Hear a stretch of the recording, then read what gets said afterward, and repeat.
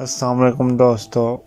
दोस्तों, हमारी आज की वीडियो का टॉपिक है कि चार चीज़ों में कभी भी शर्म महसूस न करें। नंबर वन गरीब दोस्त के साथ कभी भी शर्म महसूस न करें, क्योंकि दोस्ती का कोई स्टेटस नहीं होता।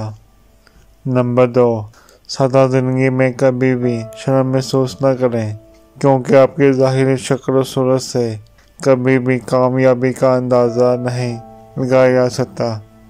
नंबर तीन, पुराने कपड़ों में कभी भी शर्म महसूस न करें, क्योंकि आपके कपड़े आपकी साहित्यों को डिफाइन नहीं कर सकते।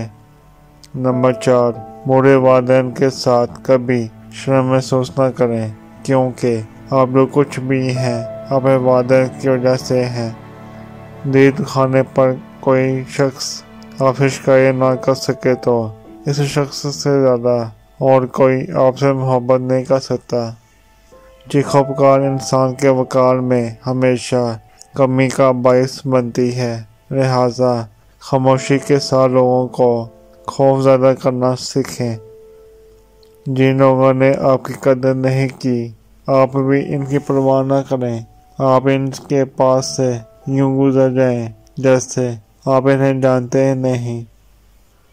यकीन रखिए, नई मंजिल आपकी मुंतजिर है। जब साया कद से बड़ा और बातें औकात से ऊँची होने लग जाए तो समझे कि सूरज गुरूब होने वाला है।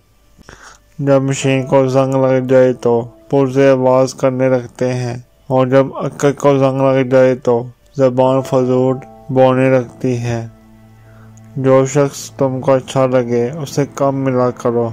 और जो शख्स बहुत अच्छा लगे, उसे सिर्फ़ देखा करो।